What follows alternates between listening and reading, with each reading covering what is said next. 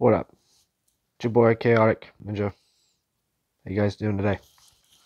Whoop motherfucker whoop. Uh so I saw a live stream that the boy Blue 9182 did a couple days ago on his Jogo Drama Alert channel and his other channels he's got. Um Sugar Slam was making some allegations that her towards uh, Monoxide from Twiztid, claiming him that he is a rapist of some sort. And then she ended up deleting her Twitter account. Um, this is my thoughts on this situation.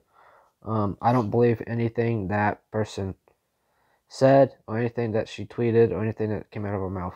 If she's done videos or anything like that. I don't know who the person is, but I think it's just straight up BS in my opinion.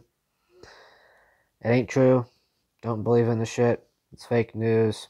Um, no. It ain't happening. It ain't. Alright. Anyways, that's about it.